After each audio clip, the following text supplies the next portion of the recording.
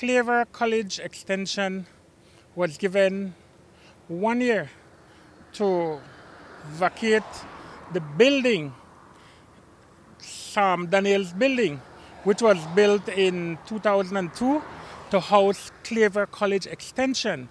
The notice was given by the Claver, St. Peter Claver Parish for them to vacate, and that if they did not vacate by the 30th of June, the Claver Parish would take possession of the building and whatever possession in there that belonged to the Claver College Extension.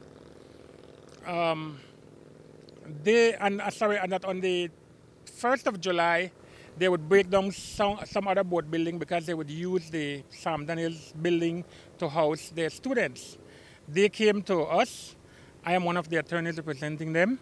We made uh, an application in the court for certain procedures, and that temporarily stayed the taking possession of the building.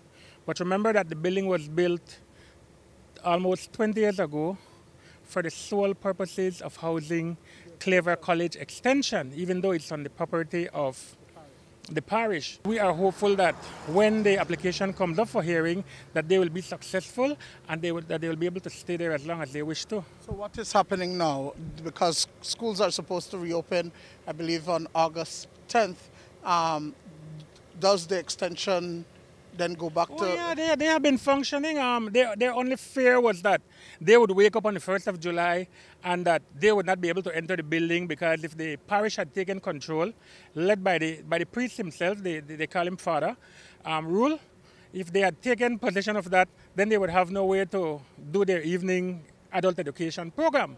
But that has been resolved temporarily, and like I said, we're hopeful that it will be resolved permanently they'll be able to remain there and continue with their school.